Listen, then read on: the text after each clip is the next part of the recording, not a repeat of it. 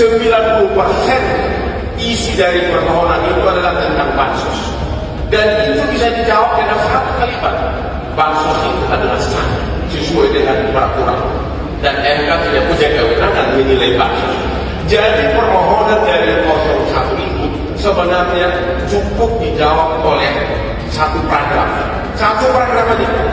Karena yang lainnya hanya ngoceh-ngoceh, ngoceh-ngoceh sana sini, ngoceh sana sini. Ya, hanya satu. Bansos itu adalah sah sesuai dengan undang-undang. Karena kalau tidak sah, KPK betul. Ya, 90% surat permohonan itu memakai alasan bansos. Jawabannya ada satu, bansos adalah sah. Oleh karenanya jawaban kamu ngakeh permohonan tanya, ngoceh lagi, ngoceh, ngoceh dan cengeng. Itu juga asumsi itu bukan bukti, sesuatu yang harus dibuktikan. Begitu juga patut diduga, dan sebagainya yang disampaikan tadi sesuatu yang memang harus dibuktikan. Tanyakan tentang bukti-buktinya itu baru kita tanya. Ini kan belum masuk pembuktian. Ini kan proses dalam penyampaian permohonan. Jadi agak kecepatan tuh. Mungkin nggak tahu jadwal sidang mungkin. Tapi paling tidak, ini kami tujuh kami. Semua dokumen-dokumen yang kita sampaikan ada buktinya. Ya, saya lebih baik saya penjara demi untuk kemaslahatan rakyat daripada saya melihat para pengkhianat-pengkhianat pemimpin-pemimpin yang tidak demokratis seperti ini. Yang kita lihat hari ini, yang jelas-jelas sudah ada adu domba antara pihak-pihak yang di sana juga termasuk pengkhianat demokrasi. Betul, disuruh didik ya sekolah oleh orang-orang tuanya bukan menegakkan demokrasi, tetapi kembali sebagai pengkhianat demokrasi. KPU telah mengeluarkan pengumuman resmi yang hasilnya dalam versi KPU telah kita dengar bersama. Atas dasar itu, izinkan kami menyampaikan pernyataan untuk mendakapi proses pemilu yang sejak awal hingga saat ini. Sejak awal kita semua telah melihat dan menemukan begitu banyak ketidaknormalan, kekurangan dan pembiaran terhadap proses yang tidak wajar. Kami memutuskan meminta tim hukum Timnas Amin untuk maju ke Mahkamah Konstitusi. Terlalu banyak temuan-temuan tentang proses demokrasi yang tidak berintegritas ini yang telah dikumpulkan oleh tim hukum Timnas Amin. Dan kita semua akan terus menjaga etika demokrasi kepemimpinan yang lahir dari proses yang ternodai dengan penyimpangan, dengan kecurangan, akan menghasilkan rejim yang outputnya nanti, keluarannya nanti adalah kebijakan-kebijakan yang penuh dengan ketidakadilan. Kita ingin mengembalikan demokrasi kita menjadi demokrasi yang penuh dengan kewarasan, demokrasi yang mengedepankan adab. Bahkan ada yang ketuanya sudah melanggar kode etik berkali-kali, sudah diberikan sanksi berkali-kali, tapi tetap saja dibiarkan menjalankan perannya. Kemungkinan untuk bisa mendapatkan keadilan itu kemungkinannya amat kecil. Kami berharap pertolongan Allah Subhanahu wa taala, pertolongan Tuhan yang Maha Kuasa. Semoga Allah bukakan, Allah teguhkan hati para hakim konstitusi itu. Mari kita terus jalankan perjuangan ini dengan menjunjung tinggi etika, kita dukung langkah tim hukum. Semoga Allah Subhanahu wa taala meridhoi perjuangan kita. Namanya siapa, Mas? Namanya Muslim. Muslim. Mas, ingin tahu kenapa turun aksi sini? Sementara maaf ya, eh, kondisi Mas kan eh, ada kurang ini dengan total. Karena kan saya mau presiden itu kalau mau menang jujur jangan curang Nggak takut mas? Kalau kalau ada apa-apa nggak takut? Nggak takut, saya takut kepada Allah, nggak takut siapa. Okay. Saya nggak percaya saya, rakyat Sumatera Utara nggak percaya Prabowo menang. Yang percaya Prabowo menang, mendingan pindah agama aja, udah itu aja. Oke mas, ada satu kata terakhir mas? Nggak ada. Lawan gitu. Yang percaya Prabowo menang, pindah agama. Agama ku Islam, dia nggak percaya. Oke. Mas. Itu hal ya, saya ngomong terus terangnya di sini ya. ya itu kalau nanti PKB katanya akan tetap berani mendukung hak angket ya itu Muhaimin Iskandar pasti akan menjadi tersangka ya. Dan siapa yang akan menjadi pengganti Muhaimin ya? Yang tadi isunya Menteri Agama, tapi sekarang isunya katanya Gus Ipul gitu kan. Ahok tidak akan pernah bersatu dengan Pak Anies.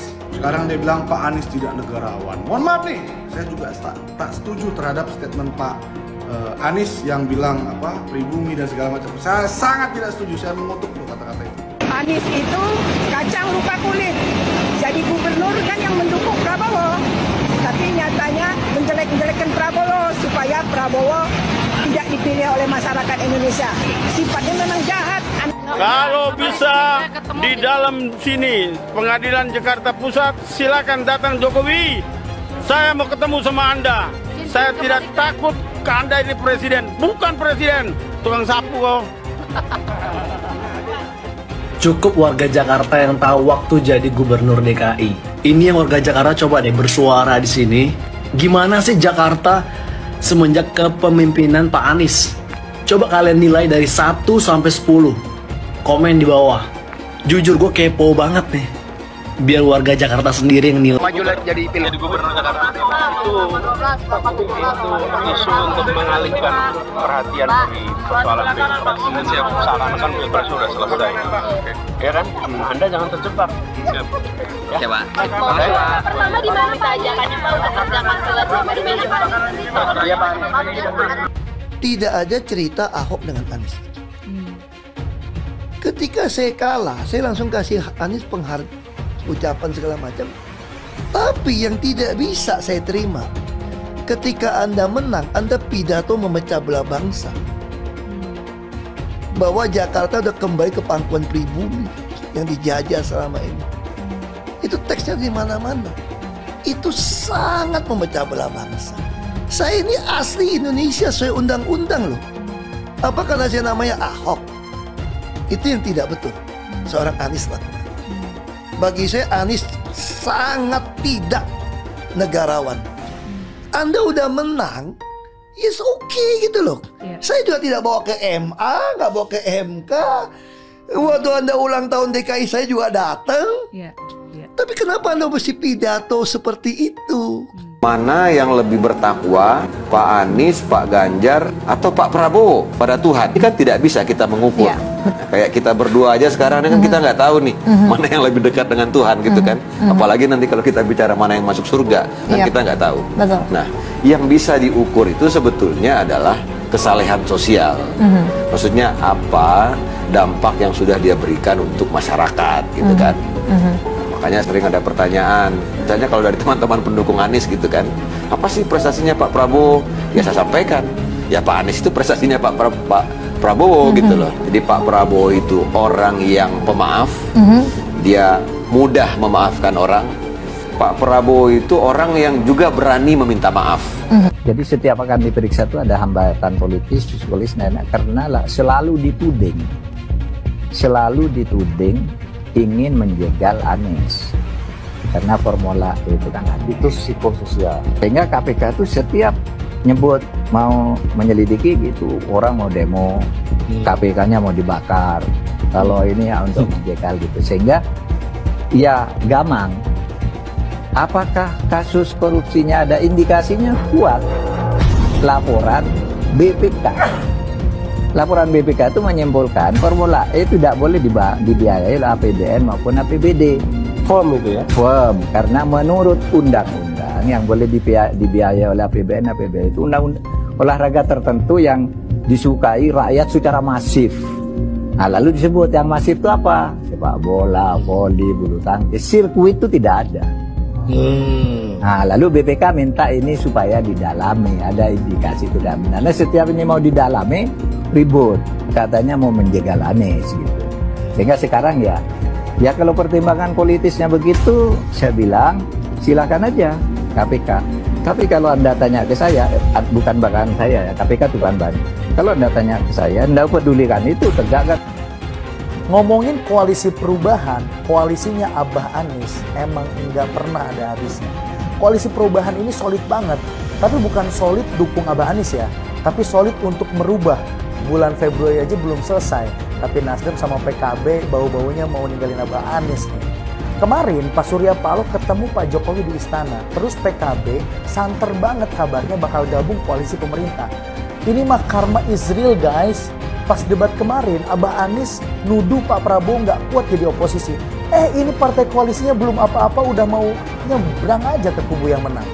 Untuk Abah Profesor Anies Rashid Baswedan, sebelum nasehatin Pak Prabowo, tolong nasehatin partai koalisi Abah Anies dulu ya. Udah, gitu aja lah. Aduh, mohon maaf. Hello, Kubu 02.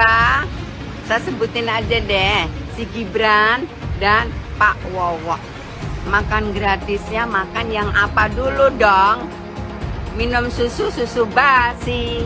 Makan gratis, makanan apa dulu? Aduh deh, aduh ya Allah. Zaman gini kok makan gratis. Hai, jangan mau dibodoh-bodohin dengan bocah kentur. Bocah kentur yang nggak ngerti apa-apa. Sekolah aja, mohon maaf tanda kutip, mau memimpin negeri terbesar ini. Hai rakyat sadar kalian, jangan cuma dimakan gratis. Hello, sadar kalian cerdas, cerdas, cerdas. No, no, no, no. Nggak setuju. Tidak setuju. Makan gratis nggak setuju. Makan gratis kami masih sanggup. Namanya kami makan, kami hidup. Kalau kalian setuju dengan makan gratis, karena hidup kalian berarti tergantung oleh kubu 02. Berarti kalian bodoh. Bodoh. Mantap. Bodoh. Oke bu, bu. Oke, jangan. Ibunya semangat banget nih guys. Bu, Allah bilang apa? Qatiluhum, lawan mereka. Betul, kita harus revolusi. Allah yang bilang, yu'adzibumullah, Allah yang akan mengazab mereka. Tapi kita harus turun yang banyak. Turun 2 juta orang. Semua nanti, tanggal berapa kita rame-rame turun. Ini perintah Allah. Karena mereka sudah jalim, mereka sudah jahat, maka Allah perintah qatiluhum, yu'adzibumullah biaidikum. Allah akan hancurkan mereka. Tapi lewat tangan kita. Tangan kita ngapain? Turun ke bawah, kita ikut sama-sama ya Rab aku hadir hadir seluruhnya umat Islam umat-umat yang beriman harus hadir nanti tatkala ada kita akan mengadakan turun ke jalan. Jangan cuma 100 ribu 2 juta orang harus turun. Seluruh Indonesia serukan untuk mereka datang. Bahwa ini perintah Allah dan kita laksanakan sami'na wa atona Seharusnya pemilu diulang sampai Anies menang. Rakyat sudah cerdas, sudah pintar, yang tidak mau dibodohi lagi. Orang order-order atau pecundang-pecundang pengkhianat-pengkhianat bangsa yang merongrong rakyat Indonesia, yang menghancurkan kedaulatan Indonesia. Ingat, kami merasa dicurangi. Saya tetap melawan. Saya akan turunkan pasukan-pasukan. Bahkan rakyat Indonesia saya serukan semuanya. Harus turun di jalan. Kampung. KPU. Kampung. KPU. Kampung. KPU. Takbir. Takbir. Takbir. Bismillahirrahmanirrahim. Bismillahirrahmanirrahim. Bismillahirrahmanirrahim. Yang tersangka setelah Pilpres ini namanya Anies Baswedan dan Muhaimin. Mas Anies pernah terkait dengan eh, apa dengan kasus eh, Formula E kemudian eh, Mas Ganjar terkait dengan eh, iktp kemudian eh, siapa Pak Agus Muhaimin terkait dengan kasus yang lain dan mereka pernah dipanggil KPK. Nah, kemudian dia jelaskan karena ada proses kasus itu bisa jadi pasca Pilpres ada yang jadi tersangka. Itu pendapat seorang Fahri Hamzah. Kalau ada proses yang kemarin misalnya tertahan karena kan berdasarkan kebijakan penegak hukum terhadap para calon termasuk para caleg itu dihentikan. Ya, orang yang sudah diperiksa ya dihentikan ketika dapat status sebagai eh, apa namanya caleg atau capres atau cawapres. Anies Baswedan, ya Nis ya, denger nih. Sebaiknya kau itu jangan terlalu banyak ngomong, jangan terlalu banyak menyindir-nyindir orang, jangan terlalu selalu melihat kesalahan-kesalahan orang, seolah kau yang udah paling benar. Kau semakin kau banyak ngomong, omongan kau itu blunder. Kau sendiri nggak ngerti apa yang kau omongin. Sekarang A, besok berubah B. Sebaiknya kau tunjukkan kinerja kau aja, prestasi kau aja apa. Walaupun kau udah jadi gubernur gagal di DKI 5 tahun, Nah, jangan kau bikin juga gagal Indonesia ini. Ya. Manusia yang terlalu banyak ngomong seperti kau itu adalah ciri-ciri manusia munafik. Manusia munafik sangat dibenci oleh Allah Subhanahu wa taala. Apabila berjanji dia ingkar dan berkata dia dusta. Ya, orang yang banyak bicara biasanya tidak bisa bekerja. Paham itu ya Anies Baswedan? ketika ada pelanggaran etika dan Bapak tetap jalan terus dengan cawapres yang melanggar etika. Artinya ada kompromi atas standar etika. Standar etika ini fakta. Ini fakta. Dan kemudian dalam pidato Bapak mengolok-olok tentang penting etika. Saya tidak tega untuk mengulanginya. Pertanyaannya, apa penjelasan Pak Prabowo soal itu semua? Saya menilai, maaf ya, karena Anda desak saya, saya terus terang aja saya menilai Anda tidak pantas bicara soal etik. Itu saja. Saya merasa bahwa Anda itu eh, posturing ya, Anda tuh menyesatkan. Itu aja ya. Saya boleh berpendapat kan?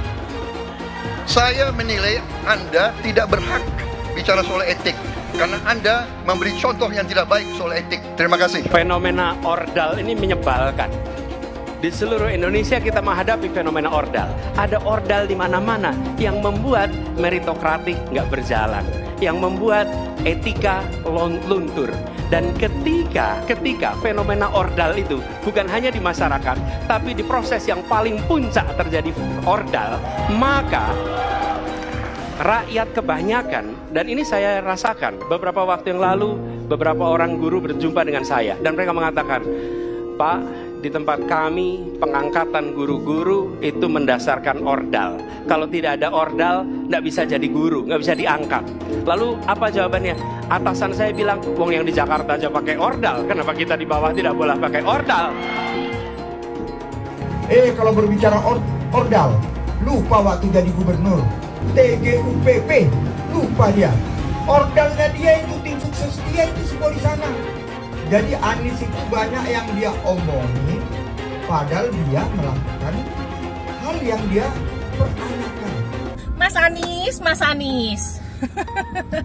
Mas Anies, Mas Anies, masa sih angin kok sampai nggak punya KTP lo ya? Heeh.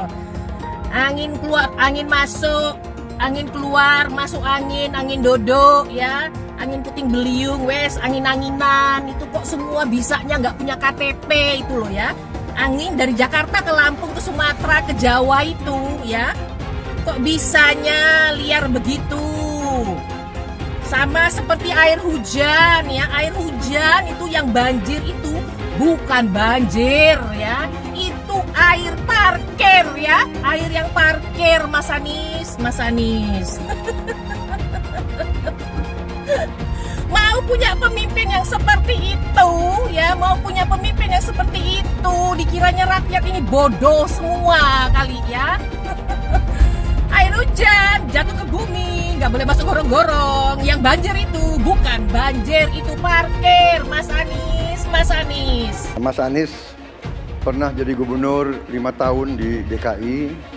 DKI menerima indeks polusi tertinggi di dunia. Bagaimana dengan anggaran 80T Pak Anies sebagai gubernur tidak dapat berbuat sesuatu yang berarti untuk mengurangi polusi. Terima kasih. polusi udara tak punya KTP. Angin tak ada KTP-nya. Angin itu bergerak dari sana sini.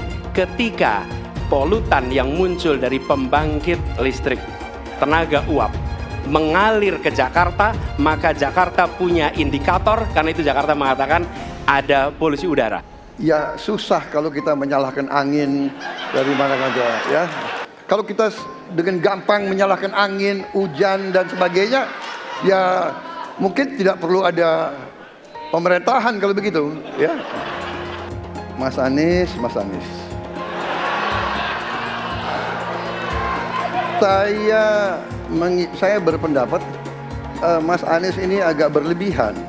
Mas Anies mengeluh tentang demokrasi ini dan itu dan ini. Mas Anies dipilih jadi gubernur DKI menghadapi pemerintah yang berkuasa.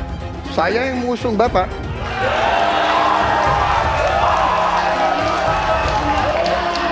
Kalau demokrasi kita tidak berjalan, tidak mungkin Anda jadi gubernur.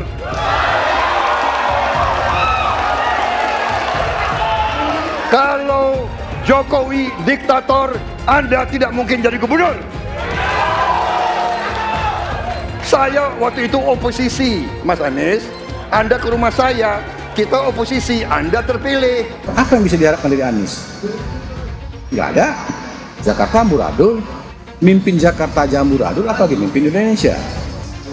Anies itu perbual. Kayak mana apa karena perbual itu? Pembohong. Pembohong itu Anies itu. Gak usah dengar itu. Nggak layak jadi pemimpin. Apalagi jadi presiden. Di Jakarta aja kamu tengok itu amburadul. Di Jakarta tingkat kemiskinan tinggi. Pembangunan apa yang bisa dibangun Jakarta? Satu puskesmas pun bangunnya nggak ada. Masjid aja nggak dibangun. Mau ibadah. Di mana-mana kelebihan bayar. Apa yang bisa dibangun Anies? Satu aja nggak ada. Satu saja tunjukkan apa yang bikin Anies dibangun di Jakarta. Ganjar belum kampanye saja tetap di atas, apalagi sudah kampanye. Anies yang sudah keliling Indonesia, yang naik jet pribadi, keliling, jangankan naik, makin nyungsep ke bawah. Nah, masyarakat sudah tahu siapa Anies. Anies, siapa belakangnya? Oligarki, satu. HTI, FPI. Masyarakat Indonesia bukan cari orang Yaman. Indonesia mencari nyaman. Anies ini keliling-keliling Indonesia mau ngapain sih? Bingung saya ngelihat. Menawarkan perubahan tapi tanpa konsep dan gagasan. Apa yang mau dirubah dan perubahannya seperti apa? Apakah akan merubah negara Pancasila menjadi negara khilafah juga nggak jelas. Jadi perubahan apa yang mau ketawarkan nih?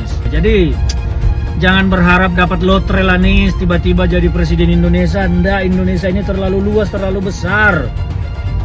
Jangan bermimpi lah bicara ke sana ke keliling Indonesia seolah-olah paham dan mengerti masalah negara. Lawang jadi gubernur raja lima tahun kamu nggak ngerti masalah Jakarta. Apa yang kamu lakukan dengan Jakarta? Nggak ada nih, nggak ada. Masalah Jakarta segitu banyak tak satu pun yang selesai. Yang ada malah kerusakan bertambah. Anies hendak jadi presiden, hendak mengadakan perubahan. Perubahan apa nak kau buat? Nak kau balik Indonesia ni telontang jadi telangkup. Yang sudah maju di pandang mata dunia, anak kau manakan lagi? Apa yang makanya kalau nak baca itu pidato tu, hendak merubah Indonesia, sebutkan apa yang hendak dirubah. Jangan kata rubah ada, tapi yang hendak dirubah tak ada. Serupa dengan rekam jejak. Lihat rekam jejak. Apa rekam jejak kau di Jakarta? Apa yang kau kau di Jakarta? Bukan yang ada kalau Joko di Jakarta kau bilang kan rekam jejak, rekam jejak, sekam pidato dulu rekam jejak saja. Gaya orang nanguk kau bodoh-bodoh saja orang nak pidato kau pembodoh-bodohan. Kau anggap orang Indonesia ini bodoh semua, yang pintar orang Yaman. Yaman. Nantau kau Yaman kalian nantau kau. Bila ingin melihat apa yang akan dilakukan seseorang ke depan, maka lihatlah rekam jejaknya. Karena rekam jejaknya adalah prediktor terbaik untuk masa depan. Saya mensyukuri kenapa kalah, kenapa ditahan. Saya bersyukur atas itu semua. Saya coba bayangkan ya, kalau seandainya waktu itu kita menang, waktu itu kita menang gitu ya, hari ini belum tentu kita bisa nikmati seperti ini. Kita bersyukur lima tahun Tuhan izinkan kasih ke orang yang pintar ngomong untuk kerja. Coba kalau kita bayangkan gitu ya, kalau kemarin saya masih jadi gubernur, ini saya udah turun ini. Tapi yang pintar ngomong itu dikira orang hebat kan? ini lebih ber, lebih berbahaya tahun 2024. Langsung ketahuan karakternya. Langsung ketahuan itu. Di saya juga ada kutipan Pak di kamar saya Pak. Tulisannya Jakarta telah mengambil keputusan yang fatal. Jangan sampai bapak politik identitas justru menang dengan cara menipu umat Kristen. Jadi kalau sekarang umat Kristen mendukung Anies, mereka akan membayar mahal kerelaannya untuk menukar iman hanya untuk kepentingan sesaat. Kita tahu Anies lahir dari apa? Politik identitas. Yang dia dulu melebeli kafir semuanya kepada yang non-muslim. Saya mintalah kepada muslim yang waras dan kepada kelompok minoritas. Janganlah Anda memilih pemimpin yang berkarakter seperti Anies. Elektabilitasnya Anies merosot ya seiring mulai terkuaknya kontroversi dari kepemimpinan Anies di Jakarta. Gen Z juga tahu kalau Anies adalah sosok yang didukung kelompok intoleran yang membuat Pilgub DKI 2017 menjadi sangat kotor. Politik identitas yang mengarah ke perpecahan seperti yang dikeluarkan pendukungnya Anies yaitu Kadrun bin Kamret. Kafir lah, laknat lah, PKI lah, ya cuma itu doang kemampuannya. Itulah pendukung Anies. Jangan pernah takut melawan kadrun yang cuma pengen Indonesia hancur. Presiden kita ini memecah belah umat. Kalau punya jejak pernah memecah belah umat, jangan dipilih. Kita lihat apakah pemimpin kita, calon pemimpin kita ini ya pernah menggunakan agama sebagai alat untuk memenangkan kepentingannya atau tidak. Kalau agama diperalat untuk merebut kekuasaan, jangan dipilih. Sekali lagi kalau ada calon pemimpin yang punya rekam jejak memperalat agama untuk kepentingan politiknya, jangan dipilih. Bapak Politik Identitas Indonesia Anies Baswedan, Bapak Intoleransi Indonesia Anies Baswedan. Jangan lupakan, jangan terlena, jangan sampai dia pecahkan kita dengan dagangan ayat dan mayatnya. Air itu turun dari langit, turunnya ke atap rumah langsung sumur bor, bukan ke sungai dan ke laut. Saya ingatkan, jangan ada lagi politik identitas. Jangan ada lagi politisasi agama. Penjajahan di depan mata itu di Jakarta. Kita semua pribumi ditindas. Kini saatnya kita menjadi tuan rumah di negeri sendiri. Saya bilang, Miss, ente nggak bisa jadi presiden. Kenapa? Karena presiden adalah orang Indonesia asli, saya bilang. Anies, ibunya Arab, bapaknya Arab, kakeknya Arab. Mas Anies nikah dengan keturunan Arab. Menantu Mas Anies, anak Mas Anies nikahnya dengan Arab lagi. Jadi Mas Anies kalau merepresentasikan Indonesia agak kurang ke Indonesianya. Mungkin 3% Indonesia aja yang bisa direpresentasikan oleh Mas Anies. PKI yang kita harapkan Anies Baswedan yang begitu jelas Islamnya 4 tahun 8 bulan jadi gubernur mana peraturan ger bergub saja yang melarang migrasi mana perda Islam apalagi yang akhirnya tidak berani juga menegakkan hukum banjir tetap banjir, macet tetap macet, kriminalitas Jakarta. Anda tahu, dua menit sekali terjadi pencurian. Sekarang orang sedang euforia, dia mau dicapreskan. Bagaimana umat terjebak lagi, terjebak lagi, bodoh lagi, masuk lagi. Kalau misalnya memang Anies itu mau maju dan dia tekad mau menegakkan hukum Islam dan menyatakan perlawanan, saya penuhi. Tapi dia tidak lakukan itu. Jangan hanya konsentrasi pada pembangunan benda-benda mati yang indah difoto dan bisa ditunjukkan dalam lima tahun hasilnya. Kalau kita mau menilai sebuah janji, maka lihat janjinya atau lihat kenyataannya. Dulu janjinya apa ya? Dan ini aneh, betul-betul aneh. Ini bukan kampanye, tapi saya sampaikan di sini. Di satu sisi menyiapkan jalur-jalur air untuk dikirim ke laut, di sisi lain di lautnya dipasang dengan pulau reklamasi, tinggal tunggu waktu jadi roh air balik. Dan ini melawan sunatullah. Kenapa? Air itu turun dari langit ke bumi, bukan ke laut. Harusnya dimasukkan ke dalam bumi, masukkan tanah. Di seluruh dunia air jatuh itu dimasukkan ke tanah. Bukan dialirkan pakai gorong-gorong raksasa ke laut. Jakarta setelah mengambil keputusan yang fatal. Bukan banjir, itu memang parkir air. Bukan banjir, itu memang parkir air. Masyarakat berkeliling dengan membawa toa untuk memberitahu semuanya, termasuk sirine. IKI Bond 82 miliar. Apa alat transportasi yang dimiliki oleh hampir setiap orang? Alat transportasi yang dimiliki semua orang adalah kaki. Kalau seandainya orang Jakarta percaya Pak Anies jadi gubernur pun, saya berani jamin, saya berani jamin, saya berani jamin kok dia akan lakukan normalisasi yang sama seperti saya lakukan kok. Gak usah bohong lah, gak usah bohong lah, gak usah bohong lah. Jadi ketika air sampai di muara, maka siap untuk dipompa ke laut, ke laut, ke laut. Pancasila Soekarno, ketuhanan ada di pantai. Anak Tuhan dari mana? Kalau Yesus anak Tuhan, bidangnya siapa? besok di seluruh wilayah Indonesia kami katakan Iblis hanya menggoda orang yang beriman. Makanya jarang-jarang orang kafir kerasukan setan. Yang kerasukan setan itu orang baik-baik. Jarang, saya belum pernah nengok Cina kerasukan setan. Pernah tak Ahok itu kerasukan setan? Enggak, setannya juga. Karena sesama setan dilarang saling menggoda. Karena di salib itu ada jin kafir. Karena di salib itu ada jin kafir. Karena di salib itu ada jin kafir. Haleluya. Kepalanya ke kiri apa ke kanan? Kepalanya ke kiri apa ke kanan? Tetap percaya salib itu lambang mulia, bukan jin. Kok ketawa? Aku nggak nyindir siapa-siapa loh. Saya nggak pernah mundur untuk kebenaran, keadilan, kejujuran. Dan peri kemanusiaan, gue nggak pernah mundur. Dan gue nggak pernah takut juga sama lu. Siapa pun yang rasis, gue akan hadapin. Gua bilang. Karena rasis itu tidak berperi kemanusiaan. Apa saya ditanya dulu kan, kamu nyesel nggak statement kamu di Pulau Seribu sehingga masih masuk penjara? Tidak pernah nyesel. Karena saya mengatakan kebenaran. Hai semua, dengan saya Jonas Leong. Terima kasih banyak buat kalian, penonton setia yang selalu menonton di channel ini. Saya secara personal sangat menghargai waktu kalian. Dan saya sudah menganggap kalian sebagai family karena kalian selalu support di channel ini. Bagi kalian yang selalu menuliskan opini kalian di kolom komen, saya baca komen kalian satu persatu. Saya baca komen kalian untuk mengetahui opini kalian, tanggapan kalian, dan masukan kalian sangat berguna untuk video selanjutnya. Terima kasih banyak buat kalian yang selalu menekan tombol like di awal video. Video seperti ini membutuhkan waktu dan juga research. Dan ini semua gratis untuk kalian.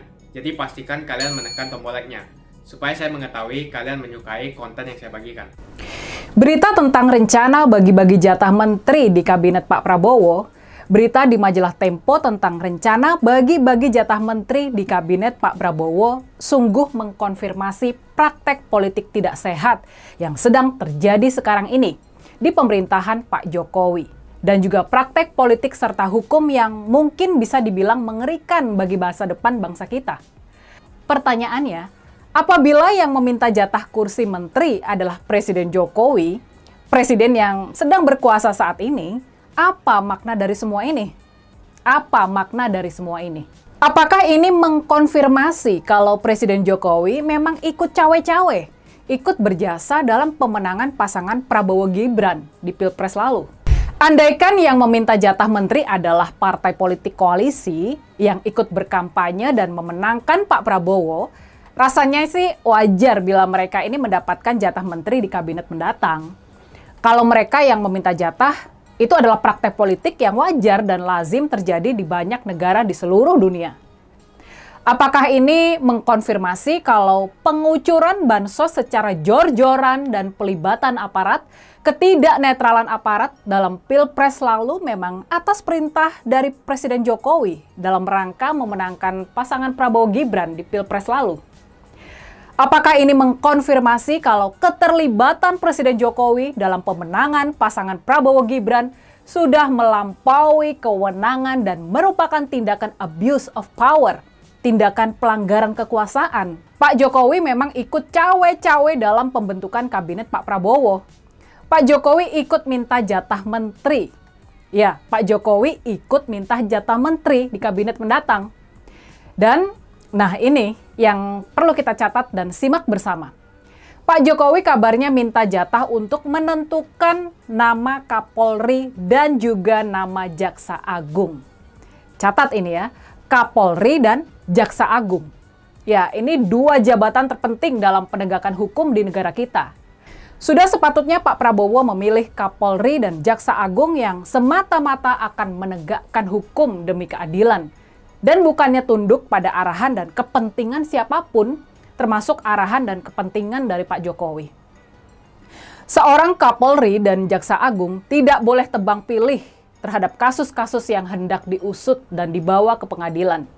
Seorang Kapolri dan Jaksa Agung harus independen, tidak bisa diintervensi oleh seorang presiden sekalipun, apalagi seorang mantan presiden keinginan Pak Jokowi untuk mengisi jabatan kepala kepolisian dan kepala kejaksaan agung dengan orang-orangnya, dengan orang-orang kepercayaannya, memunculkan tanda tanya besar. Ini sangat berbahaya dan sudah sepatutnya untuk ditolak oleh Pak Prabowo. Jabatan Kapolri dan Jaksa Agung, dua ujung tombak penegakan hukum di negara kita, itu sepatutnya diisi oleh orang-orang yang benar-benar profesional dan tidak tunduk pada kepentingan politik. Makanya sekali lagi perlu kita suarakan dan tegaskan agar Pak Prabowo menolak keinginan Pak Jokowi tersebut. Pak Prabowo harus tegas menolak keinginan Pak Jokowi untuk cawe-cawe dalam menentukan nama Kapolri dan nama Jaksa Agung di kabinet pemerintahannya. Soal cawe-cawe Pak Jokowi untuk mendapatkan jatah penentuan nama Kapolri dan nama Jaksa Agung harus kita kritisi dari dua sisi yang sudah dibahas tadi. Pertama, jabatan Kapolri dan Jaksa Agung harus independen, profesional, dan terbebas dari pengaruh serta kepentingan politik. Dan makanya pula, sekali lagi, kita semua, kita sebagai masyarakat sipil yang peduli dan berdaya, kita perlu menyerukan kepada Pak Prabowo buat menolak cawe-cawe dari Presiden Jokowi ini. Kemudian yang kedua, cawe-cawe Presiden Jokowi dalam penentuan kabinet Pak Prabowo mengkonfirmasi cawe-cawe yang melampaui batas dan melanggar aturan dalam pemenangan pasangan Prabowo Gibran. Kita harus menyerukan kepada Pak Prabowo agar posisi Kapolri dan Jaksa Agung benar-benar diduduki oleh orang-orang yang profesional dan independen, yang tidak tunduk pada arahan dan kepentingan tokoh dan kelompok tertentu. Kalau penegakan hukum sudah tunduk pada kekuasaan, tunduk pada arahan dan kepentingan tokoh dan kelompok tertentu, maka celakalah bangsa kita. Celakalah bangsa yang hukumnya bisa dipermainkan dan tunduk pada kekuasaan. Penegakan hukum yang bisa dipermainkan dan tunduk pada kekuasaan itu, dia nggak bakalan adil dan dia bakal tebang pilih. Dia nggak bakalan bisa melindungi rakyat. Dia nggak bakalan bisa melindungi kepentingan bisnis dan investasi. Kita harus menyuarakan dan memperjuangkan agar penegakan hukum, baik oleh kepolisian, kejaksaan, maupun peradilan, semua itu terbebas dari pengaruh kekuasaan. Penegakan hukum haruslah terbebas dari pengaruh kekuasaan dan benar-benar semata-mata hanya demi keadilan dan kepentingan masyarakat. Makanya, sekali lagi, kalau kita komit pada penegakan hukum yang adil dan kepastian hukum, maka kita perlu menyerukan kepada Pak Prabowo agar posisi Kapolri dan Jaksa Agung benar-benar diduduki oleh orang-orang profesional yang independen, yang tidak tunduk pada arahan dan kepentingan tokoh dan kelompok tertentu, termasuk arahan dan kepentingan Pak Jokowi. Kemungkinan satu-satunya yang menggunakan politik identitas adalah hanya Anies Baswedan. Pertanyaan itu lantas saja menimbulkan amarah di kubu Anies salah satunya dari kelompok khilafah. Orang kepercayaan Anies menyatakan politik identitas adalah framing yang selalu dibangun untuk menyudutkan padahal selama uh, kepemimpinan Anies Baswedan sebagai gubernur tidak sekalipun Anies membeda-bedakan warga berdasarkan agama dan ras. Buat saya, apakah benar menyebut politik identitas itu adalah sekedar framing untuk menyudutkan Anies? Saya akan membantah pernyataan itu. Kubu Anies terus berusaha mengaburkan makna politik identitas. Mereka berulang kali bilang bahwa identitas adalah uh, hal yang alamiah dalam kehidupan manusia. Jadi apa salahnya dengan menonjolkan identitas keislaman seorang calon presiden? Tapi saya yakin Anies tahu yang dimaksud dengan politik identitas adalah politik yang menggunakan agama sebagai alasan mengapa seorang kandidat harus dipilih atau mengapa seorang kandidat jangan dipilih. Politik identitas ini sangat berbahaya. Politik identitas membuat masyarakat menjadi tidak rasional dalam berpolitik. Yang menjadi faktor utama dalam politik identitas adalah agama. Seorang kandidat akan dipilih karena agamanya, terlepas dari apakah dia melakukan korupsi atau melakukan pelanggaran HAM. Ketika politik identitas digunakan, maka ini akan berpotensi konflik karena usai pemilihan konflik itu akan terus berlangsung dalam waktu yang lama. Masalahnya, ada alasan yang cukup kuat untuk menduga bahwa Anies sangat mungkin menggunakan politik identitas, yang memang dikatakan normal ketika menjabat sebagai gubernur DKI. Dalam proses menjadi gubernur, kubu Anies jelas-jelas menggunakan agama sebagai alasan untuk menjatuhkan Ahok. Anies jelas-jelas menggunakan agama sebagai alasan untuk menjatuhkan Ahok, sampai akhirnya Ahok dipenjara. Jadi ada track record sebelumnya bahwa Anies bisa menggunakan politik identitas untuk mencapai tujuannya. Anies sangat mungkin menggunakan politik identitas karena ini memang keunggulan komparatif dari Anies. Dia mungkin saja seorang dokter dari Amerika Serikat, tapi rekam jejak kepemimpinannya sangat tidak bagus. Dia gagal sebagai rektor para Madinah, gagal sebagai menteri, dan gagal sebagai gubernur. Jadi agama digunakan untuk membangun dukungan terhadap Anies. Itu saja opini saya. Pastikan Anda menekan like di video ini dan bagikan video ini ke teman dan family Anda supaya mereka mengetahui informasi ini. Jangan lupa tekan tombol subscribe dan bunyikan tombol loncengnya supaya kamu tidak ketinggalan info dari channel Jonas Leong. Dan saya akan jumpa kalian di video selanjutnya.